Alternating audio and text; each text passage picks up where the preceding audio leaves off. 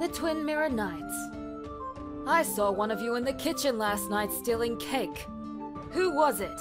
It was her! Wow! Which one of us do you like more? Monkey Knight. The monkey? Why him and not me? Sword can only be wielded by the chosen one. Me?